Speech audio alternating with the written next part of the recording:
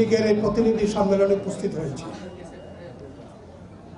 আপনারা জানেন, গত তেইশে জুন বাংলাদেশ আওয়ামী লীগের সত্তরতম প্রতিষ্ঠা বার্ষিকী আমাদের শুরু হয়েছে এবং সারা দেশব্যাপী অত্যন্ত আড়ম্বরপূর্ণ পরিবেশে এই প্রতিষ্ঠা বার্ষিকী পালিত হয়েছে এবং বিভিন্ন জায়গায় এখনও সেই প্রতিষ্ঠা বার্ষিকী উপলক্ষে আলোচনা সভা হচ্ছে, সাংস্কৃতিক অনুষ্ঠান হচ্ছে এবং বিভিন্ন ধরনের অনুষ্ঠান চলছে।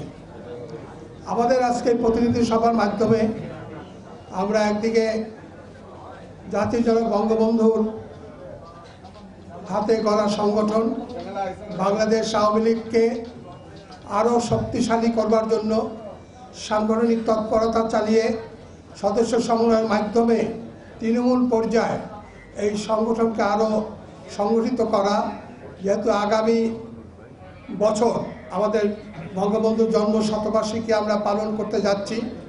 এই দিবসটিকে সামনে রেখে আমাদের ব্যাপক কর্মসূচি গ্রহণ করা হচ্ছে। সেই কর্মসূচিগুলি যাতে সুষ্ঠুভাবে পালিত হয়, তার জন্য আওয়ামী লীগকে আরও বেশি সক্রিয় হতে হবে, সুশৃঙ্খল হতে হবে এবং তার জন্য আওয়ামী লীগের লক্ষ্য, আদর্শ, উদ্দেশ্য সব ব্যাপারকে সামনে নিয়েই আওয়ামী লীগকে এগিয়ে আসতে হবে।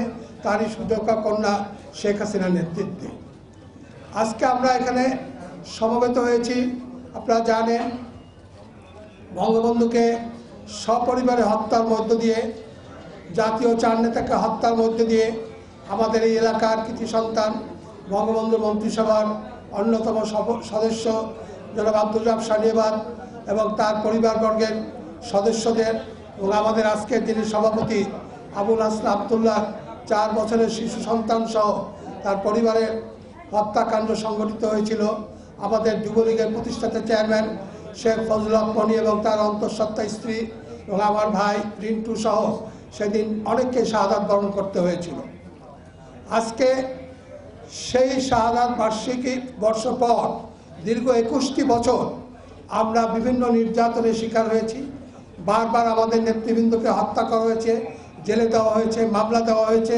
আমাদের সভা সমিতি করতে দেওয়া হয়নি, পনেরোই আগস্ট পালন করতে দেয়নি। এমনিভাবে বিভিন্ন হয়রানির মধ্যে আমরা বঙ্গবন্ধু কন্যা শেখ হাসিনাকে সভাপতি হিসাবে নির্বাচিত করে আনার পর তার নেতৃত্বে যখন আবার দেশের মানুষ সংগঠিত হওয়া শুরু করেছিল, তখনও তার প্রাণনাশের চেষ্টা শুরু হলো এবং বারবার, উনিশ বার তার প্রাণনাশ করার চেষ্টা করা হয়েছে। মৃত্যুর ঝুঁকি নিয়ে মৃত্যুকে আলিঙ্গন করেই তিনি এদেশের মানুষকে নেতৃত্ব দিয়েছেন। বঙ্গবন্ধুর হত্যার মধ্যে দিয়ে যে মুক্তিযুদ্ধের চেতনা মূল্যবোধকে হত্যা করা হয়েছিল। হত্যা করা হয়েছিল মানুষের আশা আকাঙ্ক্ষাকে হত্যা করা হয়েছিল বঙ্গবন্ধুর লক্ষ্য উদ্দেশ্যকে এবং স্বাধীন বাংলার চেতনাকে। আজকে শেখ হাসিনার নেতৃত্বে আমরা সেটা পুনরুদ্ধার করতে সক্ষম হয়েছি। বঙ্গবন্ধুর হত্যার বিচারের পথ ইন্ডেমিনিটি অ্যাক্টের মাধ্যমে বন্ধ করে দেওয়া হয়েছিল। সেই এক বাতিল করে দিয়ে বঙ্গবন্ধুর হত্যার বিচার কার্য অনুষ্ঠিত, হত্যার রায় কার্যকর করা। শুধু তাই নয়, দীর্ঘদিন পরে মানুষের দাবি অনুযায়ী আজকে শেখ হাসিনা সেই যুদ্ধপরাধের বিচার করতে সক্ষম হয়েছেন এবং তাদের বিচারের কাঠগড়ায় দাঁড় করিয়ে শাস্তি দেওয়া হচ্ছে। আজকে বঙ্গবন্ধু চেয়েছেন একটি সুখী, সমৃদ্ধশালী বাঙালি জাতি পৃথিবীর বুকে আত্মপ্রকাশ করুক, প্রতিষ্ঠা লাভ করুক।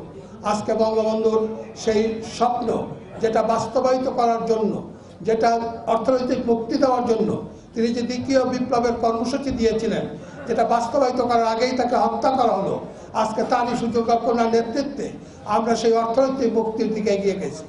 আজকে তার ঘোষিত সেই মধ্যমায়ের দেশে আমরা পদার্পণ করছি। আমরা উন্নত দেশ তার ঘোষিত দু হাজার একচল্লিশের মধ্যে সেদিকে আমরা অগ্রসর হচ্ছি। আজকে পৃথিবীতে বাঙালি জাতি একটি সমৃদ্ধশালী জাতি। আজকে শেখ হাসিনা আমাদের জাতীয় নেত্রী নন। আজকে শেখ হাসিনা আন্তর্জাতিক খ্যাতি সম্পন্ন রাষ্ট্রনায়ক, সফল রাষ্ট্রনায়ক। আজকে তার নেতৃত্ব সারা বিশ্ব মেনে নিয়েছে।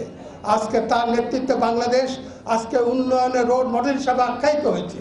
আজকে সারা বিশ্ব বাংলাদেশের উন্নয়নের তাক লেগে আজকে আমরা যখন বিদেশে গিয়েছিলাম, জানতে চায় কি হাসিনার হাতে জাদুর কাঠি আছে, যার মাধ্যমে তিনি এত অল্প সময়ের ভিতরে বাংলাদেশকে একটি এমনি পর্যায়ে নিয়ে আসতে সক্ষম হলেন। আজকে বাংলাদেশ পৃথিবীতে একটি আলোড়ন সৃষ্টিকারী দেশ হয়েছে শেখ হাসিনার নেতৃত্বে। তিনি সাতত্রিশটি আন্তর্জাতিক পুরস্কার লাভ করেছেন। এই পুরস্কারগুলির মধ্যে দিয়ে একদিকে তিনি যেমন সারা বিশ্বে একজন সম্মানিত নেত্রী হিসাবে, রাষ্ট্রনায়ক হিসাবে নিজেকে প্রতিষ্ঠা করতে সক্ষম হয়েছে, ঠিক তেমনিভাবে বাঙালি জাতিকে বাংলাদেশকে একটি মর্যাদাশীল জাতি হিসাবে, দেশ হিসাবে প্রতিষ্ঠা করতে সক্ষম হয়েছেন আজকে এই ধারাকে অব্যাহত রাখার জন্য শেখ হাসিনা হাতকে শক্তিশালী করে, তৃণমূল পর্যায় থেকে আওয়ামী লীগকে শক্তিশালী করে এই দেশকে এগিয়ে নিয়ে যাওয়ার জন্য যে সমস্ত ষড়যন্ত্র চলছে, সেই ষড়যন্ত্রগুলি রাজনৈতিকভাবে মোকাবেলা করবার জন্য, আজকে সংগঠনকে আরও শক্তিশালী করার জন্যই আমরা বিভিন্ন জায়গায় এই কর্মসূচিগুলি গ্রহণ করেছি। এবং সেই কর্মসূচির অংশ হিসাবে আজকে বরিশাল বিভাগে এই প্রতিনিধি সম্মেলন হচ্ছে। আমরা এই সম্মেলনে আমাদের মাঝে উপস্থিত আছেন, আপনারা